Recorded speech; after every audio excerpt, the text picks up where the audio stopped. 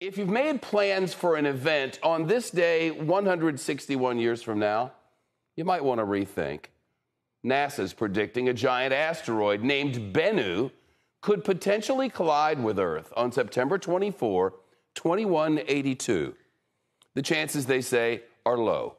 Zero, zero I should say 0.07% or something very close to that, but it's not just zero zero which they prefer.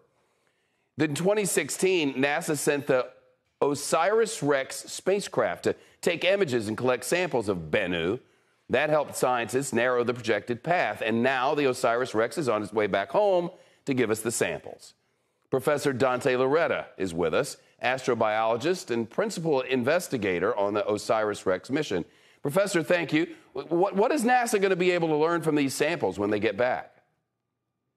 That's a great question. We're really excited to get this material from the surface of asteroid Bennu back to the Earth. It's going to help us understand the formation of our planet, possibly why the life originated here, and it'll allow us to better understand whether it's going to impact our planet in the future. So something on the asteroid will tell you whether it might be heading for us.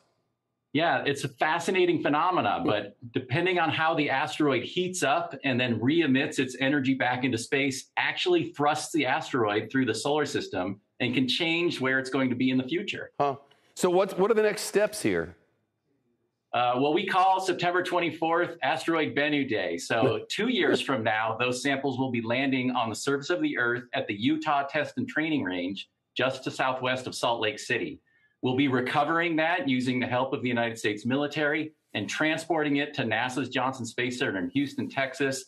We'll be on site looking at that scientific treasure and then getting it into our laboratories. Is there going to be a time where we can send stuff out into the universe to look at things, I don't know, beyond our planetary structures to see what might be, you know, heading this way? Absolutely. We do that now with space telescopes, and NASA's getting ready to launch the James Webb Space Telescope, which is going to peer back to the dawn of the universe. So we can do it optically, and we are thinking about ways to leave the solar system to probe nearby planets. Fascinating stuff. I plan to call out sick that day in 161 years.